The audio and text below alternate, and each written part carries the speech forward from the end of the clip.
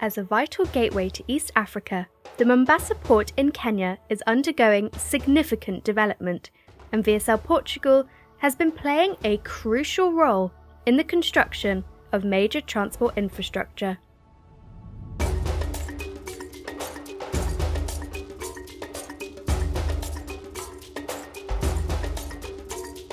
The Mombasa project was a fantastic opportunity for VSL. We were entrusted by the main contractor to deliver the entire superstructure for three bridges, of which one will be the longest bridge in Kenya. VSL took on a comprehensive role, encompassing the design and provision of temporary works equipment. We were responsible for all precasting and prestressing work, and at the erection front, from the bearing installation, the erection of all precast elements, and finally all in situ work such as the diaphragms, deck slabs, and parapets.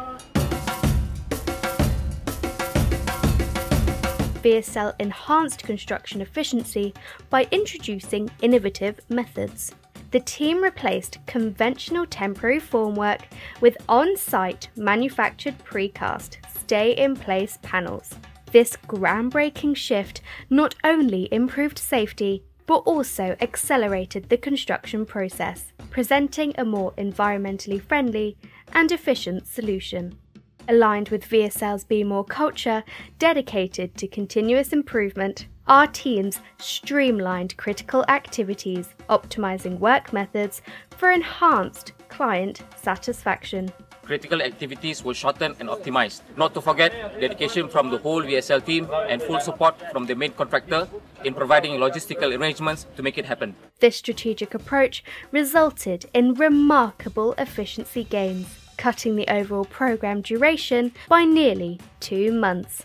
I believe we made a great job as one dedicated team and perhaps between Fujita and VSL we construct another long-lasting bridge as well. Possibly more projects to come with Fujita. In any case, this project has undoubtedly been an extraordinary adventure, characterised by a dynamic, positive and highly involved team.